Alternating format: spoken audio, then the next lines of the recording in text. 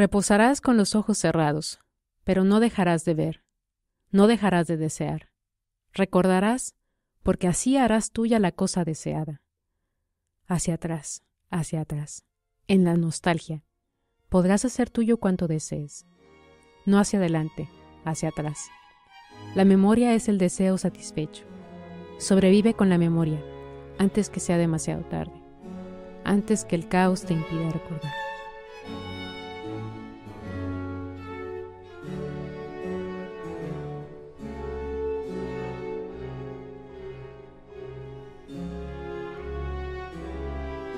Welcome to another episode of the Books of Some Substance podcast. This is David. This is Eric, and today we'll be discussing The Death of Artemio Cruz by Carlos Fuentes, and we have a very special guest, Frida from the Books of Some Substance Book Club meetups. Frida, welcome.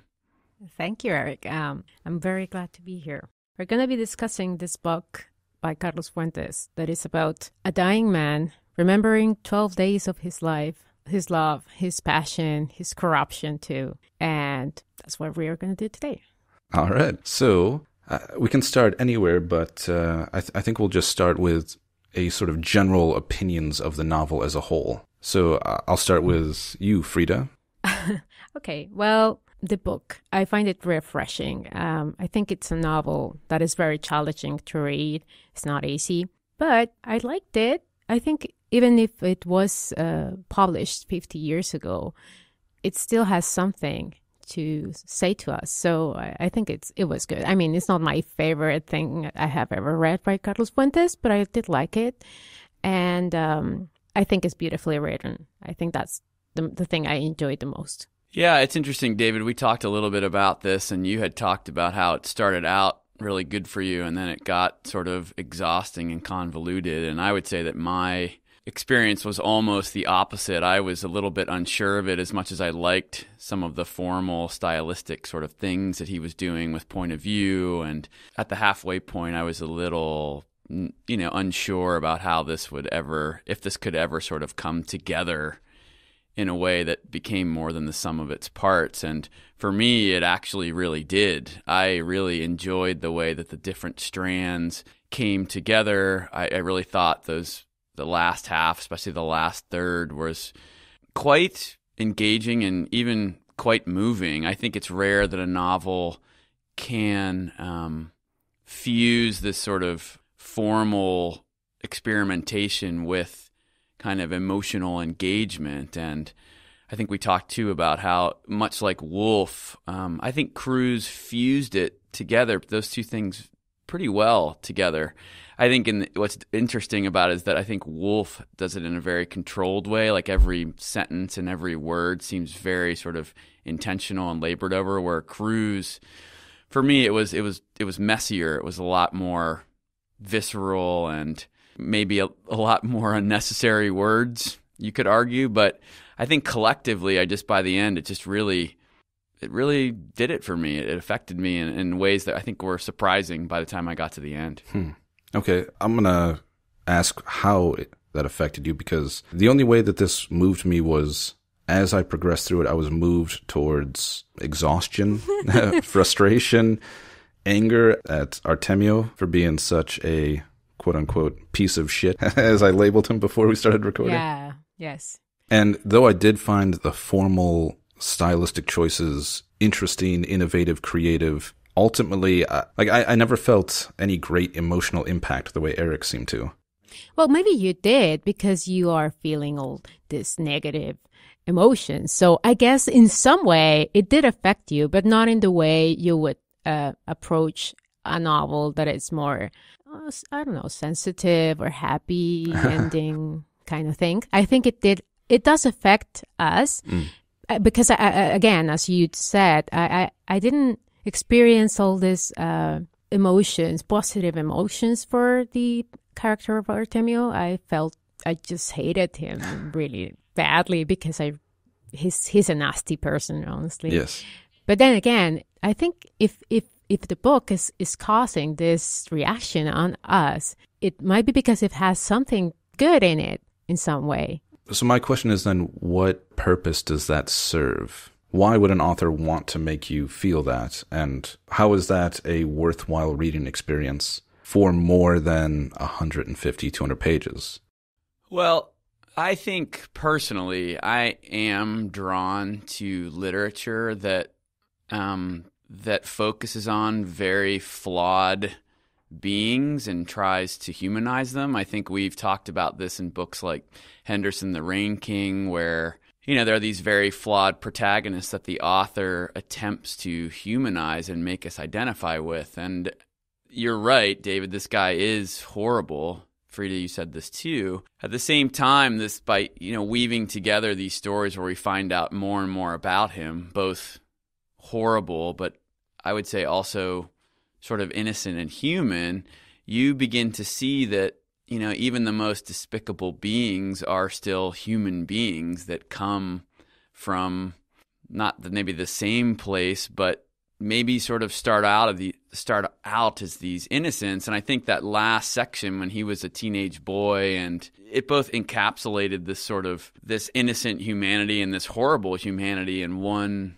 sort of section. I don't want to ruin it for people who haven't read it yet. And I'm sort of fascinated by authors that try to attempt this um, this idea of that even the most horrible people have this kind of core that started off, you could argue, innocent. And I think it's a much more challenging notion for literature to take on this burden of trying to humanize really bad people and why they're like that than the very easy way of the the very sort of good sort of protagonist that we can instantly identify with and understand. And so I, I don't want to get too hung up on this because it's not it wasn't like my main issue with the novel.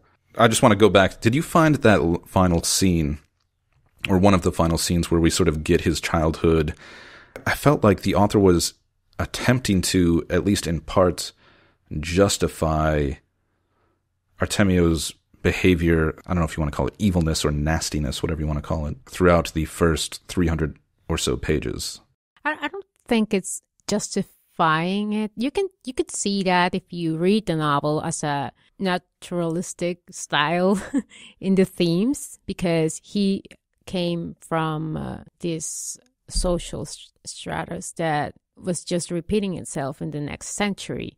So if you read it like that, I guess you could say it's a justification of his uh, actions. But I do believe it's it has more to do with the uh, the human side that Eric was uh, saying. When if you cut those two days, the day uh, he's born and the day he uh, he has this uh, thing happening to him when he was a teenager. If you cut those things, you basically end up with a human that has no humanity at all. And I think those two uh, days are very important for the novel because you can see a different side of Artemio, maybe a more human and loving or childish uh, Artemio that you don't see in the rest of the novel. I, also think, you know, if, if we were to sort of peel this or, or deconstruct this novel and like put it back together in a linear fashion and take away a lot of the the more formally and stylistically um, adventurous parts of it, it probably would feel like a contrived story, and it probably would leave you with the idea of like, why would we even want to possibly hear this guy's story or even possibly sympathize with him? But I think what was interesting is that by framing it you know, in this sort of the last days before he dies scenario, I think that's really what begins to connect me to it is that regardless of how good or how evil we are, a lot of us are going to die in this pretty horrible, you know, way. We're all going to the same place. And I think when you really get into the nuance, when he really gets into the nuance of, you know, dying and what that involves, it you can't help but I don't know, for me, it, it just going back to what Frida said, it brings this human element to it that regardless of how bad this guy is, it's hard not to have a little bit of empathy about what a horrible thing it is to sort of to die and die in such a way. I think that framing device of looking at it through the lens of death and how we go through it is is an interesting way to kind of get us into this person in a way that we might be able to identify with him a little bit more if as opposed to just telling his story in a very linear way and and not such an acutely detailed and and um, emotional way and I think that we would not be as engaged and I think that to me is what's an interesting aspect of the novel is not only is this person dying, but he's a horrible person. But can we still have empathy for this person? Because the way he's describing it is horrible. And I just didn't feel like he deserved it as bad as he was, you know, and I think that's a testament to maybe the author taking this on and, and, and doing it in this manner. I think that's a testament to your good morality because I was like, yeah, he deserves, he deserves it. it. Yeah, Fuck him. he deserves it. Wow. Well, he in some way he he did uh, get what he deserved because he he he doesn't get love at all. All his uh, power is reduced when he's dying. He doesn't have any power even to open the window. So I do believe in some way there's a, revenge or karma there happening. Sure, absolutely. There's there's karma there, and I don't want to. I don't want to. I don't want to make myself sound like I'm, or you guys make me sound like I'm this better Moralist. moralist. I just think maybe it's more just I'm. I think what Fuentes does for me is that there's a lot of times in this novel about you know when you learn more about his story, it's like it, he's not so exceptional in his horribleness. You know, he's part of this army that is going in and killing people and raping the female villagers. He's part. He's you know he's he's seeing these landowners and what they have done before him that I'm sure is equally as bad. And it it's almost I don't want to say he's a victim of circumstance, but I guess I'm not surprised. He doesn't seem exceptional in his evil considering the context of what they've they've set up. Yeah, it was violent times. It wasn't. He's a man of his century, I guess, and he's a Mexican man also, which is something I must address, because he he represents a lot of how um, identity is in Mexico in some way. Um, so because uh, Carlos Fuentes wasn't just writing about this guy uh, living the first fifteen years of the century, um, he had some other ideas from philosophers, and even you can see it in the epigraphs of the novel. Uh, I do believe he has a moral idea that he's he's always uh, building in the novel. Um, he has this uh, Montaigne uh, no, um, epigraph that comes from an essay about philosophy or death as a philosophy, and I do believe you, if you read that, you can see that Carlos Fuentes was addressing in some way this uh, aspect of how we look back into our lives. And if we see all these things we have done, what outcome, what moral outcome would would, would be? Uh, would, would would we think we were nice person, good persons, or not? So I, I don't I don't think it's a moralist just just a moralist thing about uh, Eric is just saying. I do believe there's uh, something deeper in the novel that uh, it's about that. It's about moral issues. Maybe you can touch a little bit more on why the setting and the character in terms of place and time is so important. Because for me, being so distant from that history, I found myself questioning what is Fuentes trying to say about this man at this time. Because it does, it seems like he is an exceptional man because I think he represents this powerful figure of the time. I think he's exceptional in his greed and his evilness because he rises to such heights. He controls newspapers, he controls all these different things. He's like a Mexican Citizen Kane sort of feel to him. Yes, I agree. But my distance as a reader, being from America, not knowing this history, I don't know is Fuentes trying to say something about this time, about the the failure of the revolution, that it was filled with these sort of greedy, greedy, selfish people, and that's why history went the way it did? Well, Carlos Fuentes only said for himself that he wasn't doing any moral or social criticism. He was just writing the story of a man dying. But I did, I think he said that because uh, when the novel was published, it was heavily criticized because of the things he he wrote, right, about the revolution and the uh, social class that became powerful. And even there are uh, intellectuals, Mexican intellectuals, that addressed that. And they said that basically the novel was being critical about something. So, as a reader, as a Mexican reader, I, I think the cultural and historical aspect of the novel is important, of course, but I think you can understand the novel either way, even if you don't have the context. Of course, if you know about what happened in the 19th century and then what what outcomes came with it, you can of course understand the novel better. But I don't think it's it's a it's a thing you have to know. I was curious if Fuentes was trying to say something specifically to Mexican readers or to readers that are familiar with that history. Hmm. Would you say maybe he's picking things from Mexican history that speak to maybe more universal things? I mean, I think that the interesting thing about the book for me is that it was both, I think I said this already, both intimate and epic to a certain degree. Like he was getting a lot of this pretty big sweep of history in this book, yet it stays so focused on Artemio that it has this wonderful sort of, to me, tack between the epic and the intimate, which I think very few books tend to do. But there was one section that he wrote. It sums up at least a little some of the political stuff here. It says, A revolution starts in the battlefield, but once it gets corrupted, even though military battles are still won, it's lost, and we're all to blame. We've let ourselves be divided and directed by the lustful, the ambitious, the mediocre.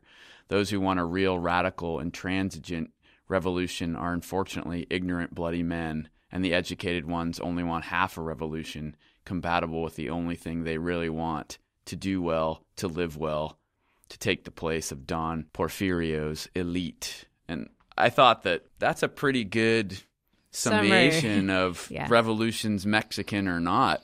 And I was even thinking, like today, the reason that we have, in some ways, where we are now politically, is that you know all of us are really angry about Trump's election, but we're kind of half-assed about it because we still want to have our nice coastal elite lives. I'm going to say we, just being me.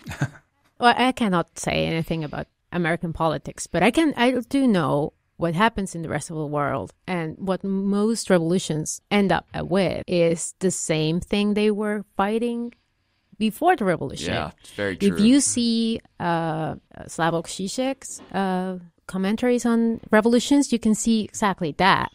That he says that when a revolution starts, yeah, yeah, everybody's excited and everybody has an opinion, and things are happening, right? But after that, you know, not so many are speaking about it because apparently, you know, there's nothing happening.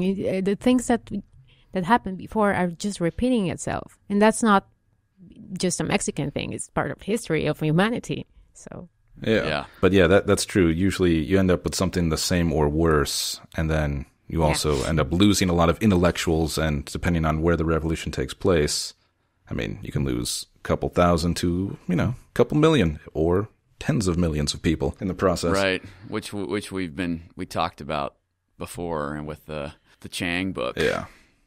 Yeah. I think you're right. I think he's, you know, even though this is set at a very specific time and place, he's trying to, or at least as a reader, it's easier to to see it as universal themes of war, corruption. These are the these are the things that people go through.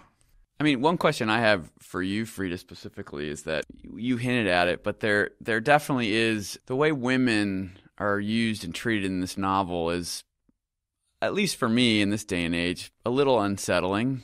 A little. Yeah. It's quite I'm unsettling. It is horrible. It is. I agree. But what's the what's the question? Oh, I'm just curious from your vantage point of reading this as a woman, you know, how do you feel about it?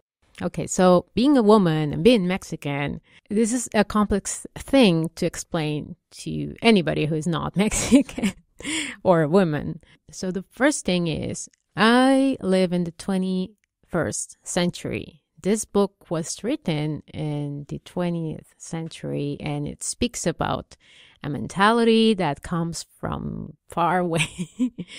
so I, I think it's unsettling and it can be enraging, frankly, because many, many things, abuse is happening in the novel towards women. They don't have any power and they are basically objects, either of desire or uh, property or whatever. So it is very unsettling and um, it's not something I would love to go through, of course. But I do think we have to see it as. Uh, uh, as a description of what was happening at the time. Because even if I don't agree about the things men did in the past, I, I cannot close my eyes and just ignore what happened before. So this for me is a reminder of what was to be a woman in that age. If you think that the book was published in 1962 uh, yeah, you might think, oh, yeah, women had rights at the time. Well, no. In Mexico, women gained right to vote,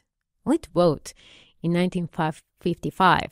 So it was a very new thing to happen, you know, for women to have rights to vote. And other things uh, were happening at the time, too, that were restricting for women. And even now in modern Mexico, many, many things are happening against um, women's rights. So if you read the novel and you're a woman, yeah, you must be enraged. I, I, I hope you are. It, it tells good things about you. But again, see it as um, as a description of things that should never happen again. I mean, uh, the, the the section that I'm thinking of specifically that I think addressed this was that that whole fucked mother soliloquy that he did in the middle, right? And it was just kind of interesting to me that it just it was an interesting passage, right? Because on the surface, you could say, oh, he's kind of trying to excuse himself. At the same time, it seems to be a, a larger statement on what you're talking about. And uh, I don't know. I'm curious to know what people thought about that passage in, in respect to just what you just talked about. David, what did you think about this passage? I'm going to sound contrarian, but I, I was bored by it. felt like I was listening to my punk rock teenage brother. Yes. I was like, oh, okay, yeah, all right, I get it. You're angry. It just felt it felt repetitive, but it made me appreciate the and various uses of the word fuck. yeah. well, I'll give you my insight. Um, the novel has a problem for you or for anybody who's not Mexican and does not speak or has any contact with Mexican Spanish. The novel uses a very colloquial style.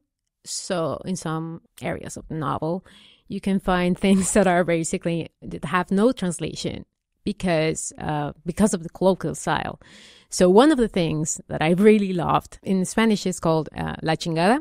Th- this this specific uh, thing is important for me as a Mexican because of several uh, reasons. One, it's, it's translated as fuck, but but it's not exactly that. That word chingar is a very Mexican word. It doesn't exist in any other variant of Spanish. So that's one thing that is important to just address. The second thing is that the word chingar has many, many different uses in Mexico, and it can be like horrible and it can be good too. So, and it's used in a very uh, in everyday conversations, even for people who are not vulgar or uh, teenager cursing. It's it's um, it's used in many many different uh, situations, or it's all over really. So this specific chapter for me was important because it recollected all the uses you can uh, do of the word, but also uh, about identity, Mexican identity. There's a, an essay by uh, Octavio Paz, which is a Mexican writer, philosopher, and poet, where he addresses this topic because he says that Mexicans have a problem with it, their identity and they don't accept the violent and horrible past they have. As a Mexican, you have to remind yourself that you are you were conquered by Spanish, uh, Spanish uh, soldiers, by Spanish uh, culture. And then again, the outcome of it, it's a mestizo, it's a mixed breed. So even if you don't want to, you're a mix. You're in between two cultures. So you cannot identify with either of them. And this lack of definition is a problem because most people identify with Spanish, the Spanish aspect, and not with the indigenous American traditions. So for this specific chapter, I do believe he was doing some kind of echoing this idea of Octavio Paz and even from other writers, from Samuel Ramos too, there's a, uh, another philosopher about Mexican identity, about this lack of ident- identification of the true self. And again, I don't think this is uh, specifically about Mexicans. It's I think it's about every culture because no culture is absolutely pure. We are a mix of things and a mix of a historical outcome, right? So I did like this chingada um, chapter because of that. And then the, the, other thing I wanted to say, uh, just to wrap it up, is that the, the two translations uh, existing in, uh, of the book are very different. Most of the things there are lost from the original one because there's no translation to it. I could I could explain to you what it means, but it's there are things that are not possible to translate. I think there's um there's a quote where he says, I think in English it says something like my little fucking children or something like that. But in Spanish, it has nothing to do with it. What it says is chingaderitas mías, which means something like my fucking things, my little fucking things. But it, it doesn't translate accurately. And you can uh, see that clearly because that's in one translation. In a, the second translation, there's none. That expression is not translated. So again, I, I do believe there's something there uh, that is very cultural that uh, would require the translator to do either uh, an equivalent, literary equivalent for every culture, uh, or very very detail in detail note about, about the uses of of this verb in Spanish, in Mexican Spanish. So I hope that helps. Uh, and if you're reading a translation, well, try to search for the second translation because maybe the, the one you're reading is not the best one. Maybe because I feel like I, I sound like I hated all of this book, but I didn't. so I'd like to move on to something, something I actually really enjoyed, which was so the novel is sort of divided into three narratives: the the first person in the present of him dying, the third person narrative, which is still limited third. It's him sort of remembering these things, and then this second person you that sort of gets into. And here maybe we can kind of decide what this is trying to do, but I, I found those sections to be the best because they they were the most philosophical. I thought they were the most well written and it was the part that really played with the idea of the purpose and power of memory and how we shape our memories and what memory means when we are dying, how it might be the only thing that we have on our deathbed, all of us. And I'd like to just kind of talk about that. What what did you think about it? What do you think this book is trying to say about memory? These are my questions for you. Those are some big questions to say the least. But yeah, I mean, I think part of my enjoyment and appreciation of this book was the sort of three different point of view narrative kind of techniques. I, I would agree the you sections were for me both alternately the best and often the most annoying to read and i think that's why they're so successful is that they straddle that line so well and you're right, the philosophical nature of it. I, I think it's also those philosophical asides that maybe open the book up and the character up a little bit more and what you know we've used this word a lot but humanizes him a bit more and and places this book in this bigger context of r- really grappling with more universal things like you said death, memory. I mean, I, I think I, I, found myself very much identifying with how, when we're young, these str- we're much more susceptible to these to feeling things a lot more strongly, and so those memories, those really strong, important memories, stick with us. And I began to think about like, yeah, there are these things from when I was a teenager or when I was in my 20s that still resonate super strongly. And I and um that don't go away. And I the way that he was trying to grapple with, you know, nostalgia and the way we think about these things and we try to shake them but they inevitably shape our lives well into middle age because that's where I am and uh, I thought was to me very resonant and very true.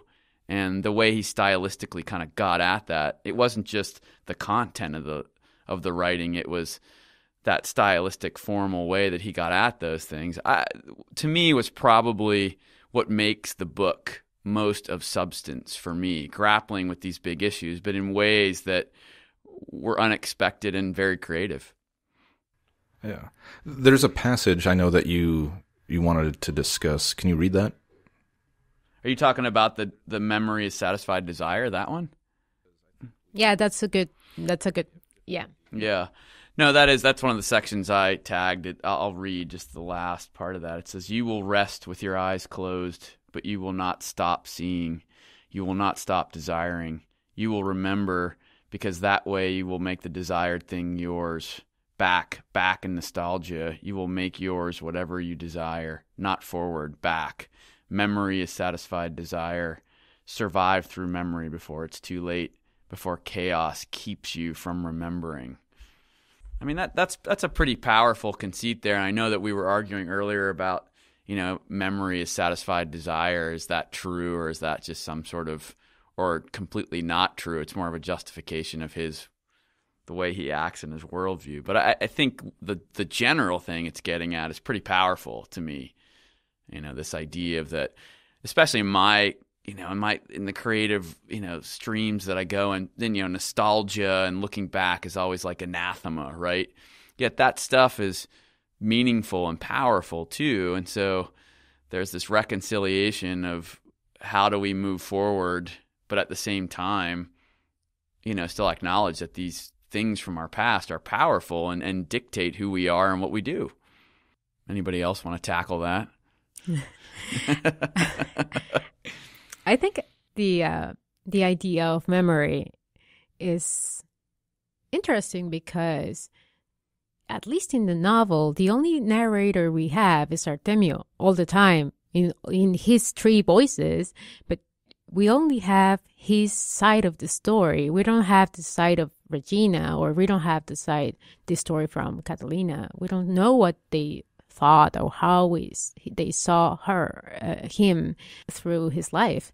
So, in that sense, I think, uh, yes, memory is a satisfied desire because you know, even if if you have lived something. Nobody can take away that from you unless you have Alzheimer or some kind of disease that just uh, makes your memories go away, right? But the things you have in your memory are yours. And since they are yours, you can actually edit them in the way you want to remember yes. them. So in some way, it's a satisfied desire because you had what what you had is yours and it will always be yours. But at the same time, you can, in some way, go back and maybe overlook some things and just forget about some other stuff. And in the end, you what you actually remember, it isn't exactly what happened. So, I guess I think, uh, yeah, memory is a satisfied desire. Well, I think it be it becomes one as you decide what memories you want to hold on to and how you will shape them. And I think what's really interesting is watching him shape his memory as he as he tells his story. Right? So he, he kind of avoids certain things or in his death, certain memories are inescapable, right? We see the line that is repeated throughout the novel. I met him, what is it? I met him at the river at dusk or something like that at dawn. Yeah. It's this memory that this line that appears from the very beginning of the book, and you never really get an idea of what it is until the end, and you realize, oh, he had a son, and he feels this sense of guilt for how his son lived and died. Yes, but you don't actually. You're in the book. You don't actually have the uh, the grief of the father, right? I'm not going to go into detail, but you don't actually see him suffering. You only have this permanent idea going back to his mind when he's agonizing, but you don't actually see him mourning his son. No. You don't really see him feeling anything, honestly. No. In some way, yeah, he's editing, you know, his memory there. He's only remembering some things about this uh, very traumatic thing happening to him, but he's uh, he's not going into detail about this memory because maybe it's too painful or whatever you. Well, when you want, learn about you his life, you realize that maybe why he has desensitized himself to so much. Right, Yes. and it, it makes a lot of sense. And going a little afield, there's this documentary on the musician Nick Cave called "Twenty Thousand Days on Earth," and he's asked this question. You know, why do you still play this song, Deanna, which is like I don't know, 30 years old at this point? Why do you still play it in your shows? You know, because obviously you're talking about somebody in a time very specific, and you know, it seems to us like it's about nostalgia. And he's like, that you know playing that song over and over is not about nostalgia for him he just said that it's not that i want to go back to that time and be with that person but the, that song symbolizes to me and allows me to access these memories and feelings that i feel help me in my everyday life today. And what i'm trying to access are those feelings not so much going back to that time. And i thought that distinction was very interesting because he's obviously using that song still to access or you know purge something in the present day. But he's not necessarily wanting to go back and relive it and be stuck in that time. He just wants to access those feelings especially when he was a lot younger and a lot more open to those things. And a lot of people have said oh, i don't see that as distinction at all. But i really do. And i think that that's what this book in some ways is sort of also saying like we have these memories and these things we go through. How do we when we re-access them or how do we use them in the present. And I think that this book subtly is sort of grappling with that idea. Yes, I, I what you asked about, uh, uh, David. You asked about the narrator, uh, the the voices. I do believe the second person narrating is basically like the equivalent of the uh, chorus in the car in the uh, Yeah, that's a good Uh, way to think about it. uh, in the, uh, Like the Greek, tragedy. in the Yeah. Greek cra- tragedy hmm because it's saying all the things that are going to happen and in this moral way, in this uh, very uh, severe tone. But also, I, I think I like those specific uh, chapters more because it's a more poetic and more uh, risky writing.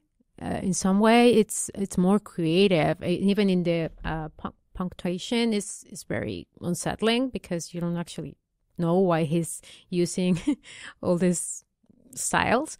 But but I, I do believe there's beauty in it. It can be very boring for people who are not into poetry but i do like it.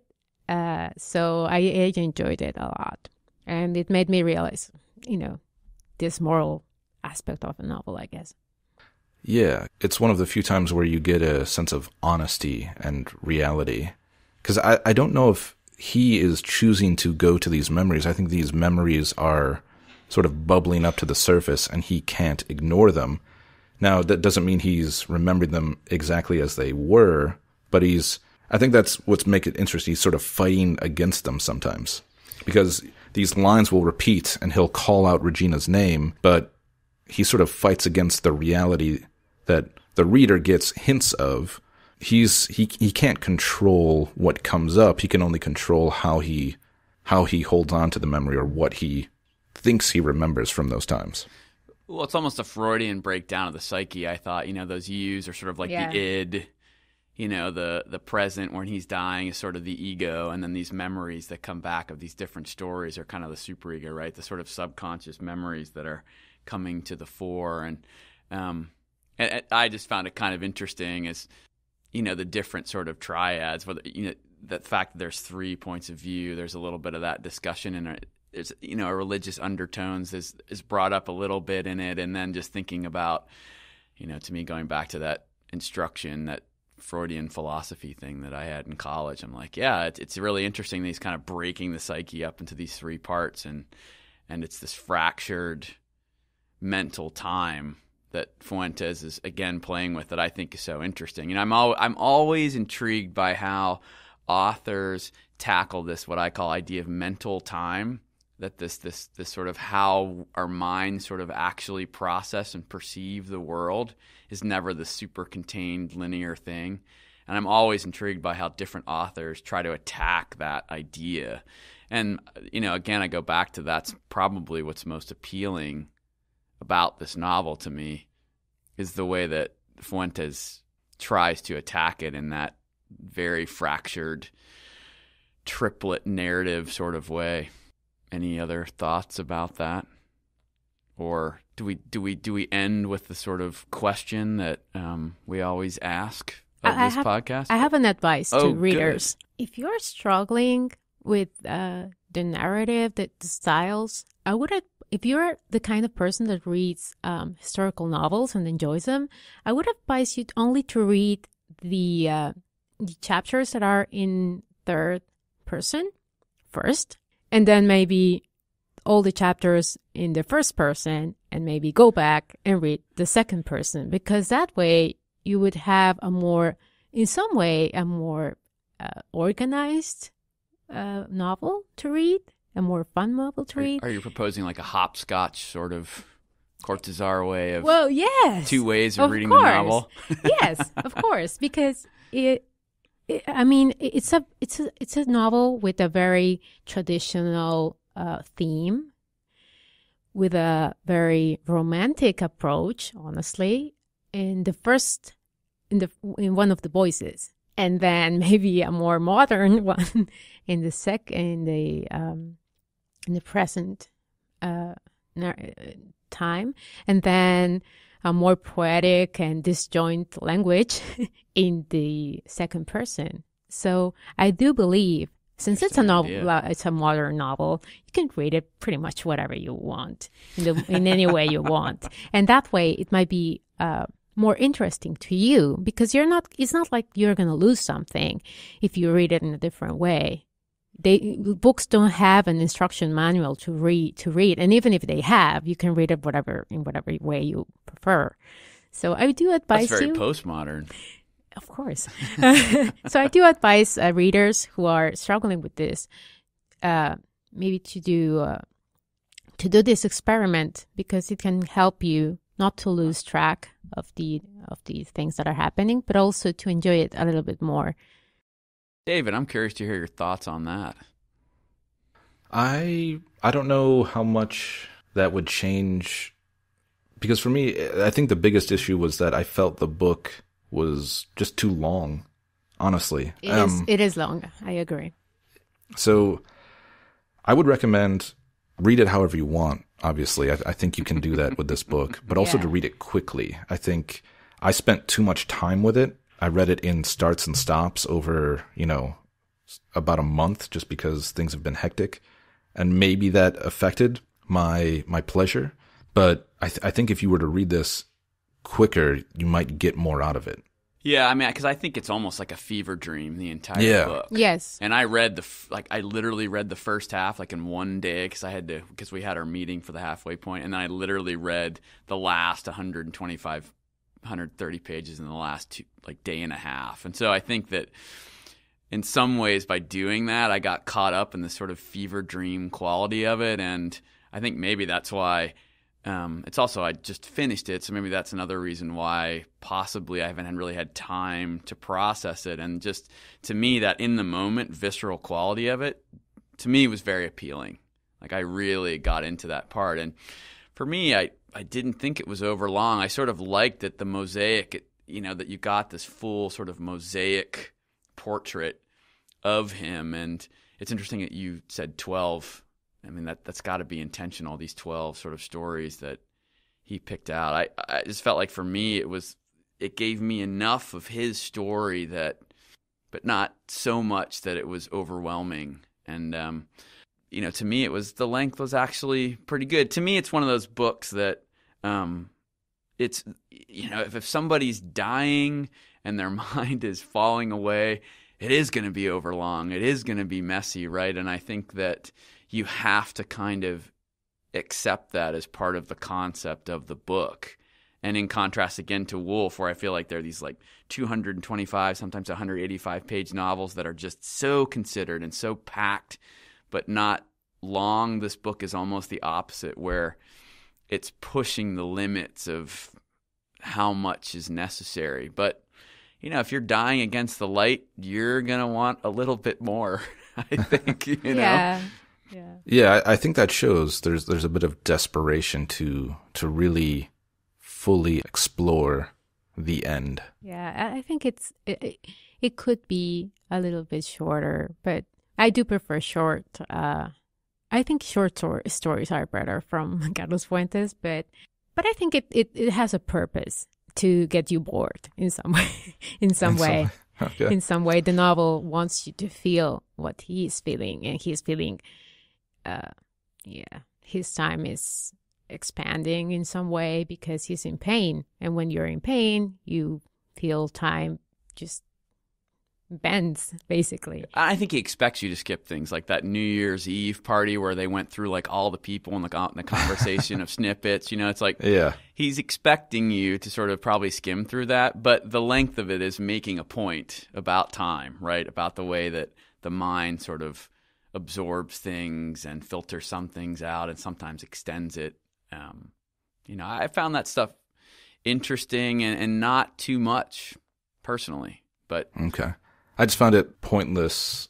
I guess is it pointless though, David? Is it pointless? Well, look, it if- felt like pointless adherence to reality. You know how sometimes authors are like, "Oh, I want you to, I want to put you in the real experience of time moving this way." It's like, yeah, I don't need that. I live that, and it's dull. Well, wait, but maybe it's important to know it's dull because um, I'm going to go back to this epigraph by Montaigne because I really liked it. What he says is that if you're enjoying life, just enjoying life, purely having fun, happiness is everywhere, you're not actually, you know, having any insight in your life because you have to look into your suffering, into death to actually be more aware of life.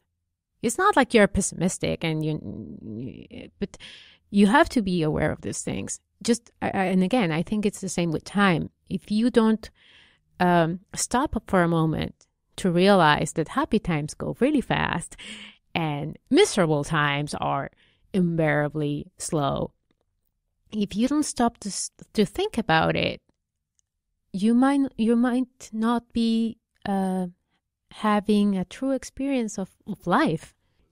that's a I think a wonderful note to maybe close this out on. Um, I, with the with the added thing that yeah, I think that you hit the nail on the head. I think that you know it's the classic dictum: an unexamined life is not worth living. And even if Artemio Cruz is this horrible guy, and he's not teasing out the right lessons from his life, at least he's thinking about it. Oh, see, sometimes I think an examined life is worth losing, and An examined I'm life okay. is worth losing. No, I really like losers' uh, stories, so I, I, I like it. I like it. I, I think mystery is important uh, to look into. Yeah, It I'm a Gen. Xer, so I believe that to the hundred percent. yeah, I, I just I'm on the camp of yeah, I got enough of that. But but again, I, that's not to say that this book is nothing but that, because I think it does have moments of beauty and insight into is the function of memory and what we hold on to in our dying moments and how that humanizes all of us. I, think that is an important thing to read about and understand. Yeah, because it would be artificial just to think about the happy, nice times, you know? Of course. Yeah. And, and I think you, you touched on something and we, we only kind of briefly mentioned it early, but this book, especially early on in the novel, I think makes you confront your mortality better than a lot of other books I've read. Yeah, when he's being shifted and sort of manipulated while semi-conscious. It, it's yes. yeah. Yes, it's not a nice thing to, even for uh, some uh, members of the book club mentioned this.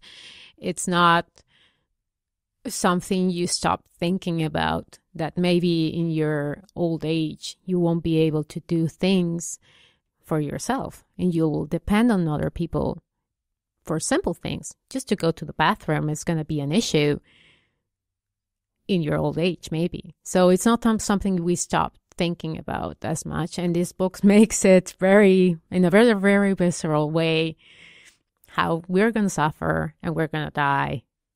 So it's, We're all going to the same place. which is very sad and horrible to read, but but I think it's important um, to see it as something, as again, as Montaigne said, uh, to have a better life, to have a more uh, full and uh, good life as a human being.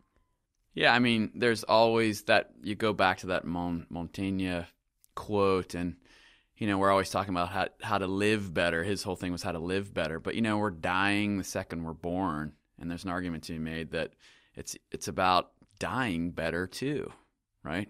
It's about learning how to die better too, and I think this book for someone who is a decade older than you, probably at least, and I don't maybe a decade older than David, it's certainly something that you're right. Put that very front and center as someone whose parents are still alive that are probably thinking about this. And why wouldn't I start thinking about this where I am too? And uh, that that's a powerful thing that um, not a lot of literature tackles in, in the visceral, direct way that this book does. And maybe that's maybe what I appreciate about it most. However despicable and awful this character ultimately is. you mentioned seeing this and looking at how to live and how to die and i kind of want to end reading i think one of my favorite quotes which maybe we can talk about it or just leave it but it's about choice and how we make the choices and how we can't go back on those things or become a different person. He says you will choose. In order to survive you will choose. Choose among the infinite mirrors one only one only, one that will reflect you irrevocably, that will fill other mirrors with a dark shadow. Kill them before offering you, once again, those infinite roads of choice. You will decide.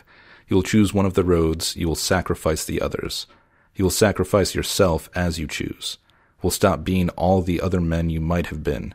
You will wish other men, another man, to carry out for you the life you cut off when you chose. When you chose yes, when you chose no, when you let not your desire, identical to your freedom, but your intelligence, your self interest, your fear, and your pride lead you to a labyrinth. That labyrinth being, of course, other choices, and how each one cuts off all possibility, right? And I thought that was a really powerful little little statement on just how going back to Kundera, the unbearable lightness of being is Yeah. and the choices we make. Yeah, that's what uh, being a free human is. Um, I think Sartre was the one that said that that's the terrible thing about being a human. You're free, and that's a tragedy because you have to be aware that what you decide is only your uh, responsibility. So,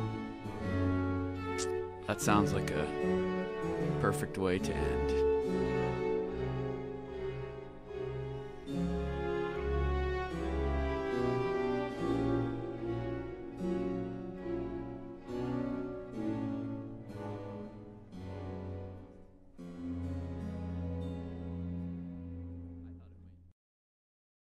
When I read out loud, I tend to go where it is